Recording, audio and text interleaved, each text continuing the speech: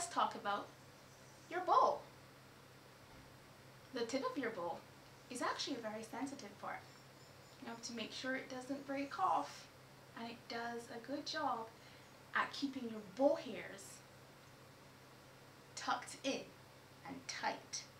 Your bow hairs stretch from the tip all the way down to the bottom. An interesting thing about these hairs is that they're actually made of a horse's tail. Very unique. Now on the opposite side of the bow hairs, we have the stick of the bow.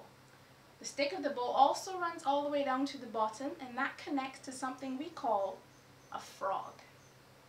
Here we have like the frog's mouth and we have the eye of the frog.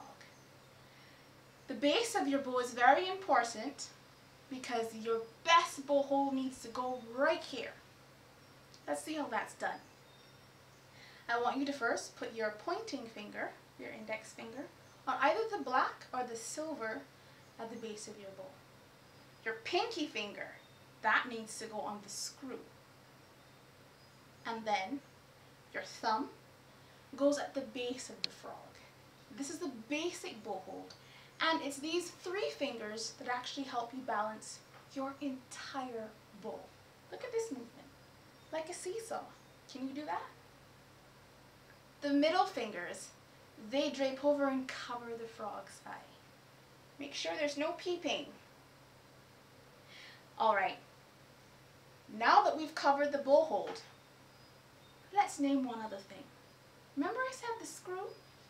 The screw is very important because when you take up your bow for the first time, all of the strings are going to be loose and floppy. They'll swing around. You need to tighten your bow so that you have good friction on your strings. Once it's tight and firm, apply your best bow hold, first finger, pinky finger, thumb, cover the frog's eye, and you're good to go.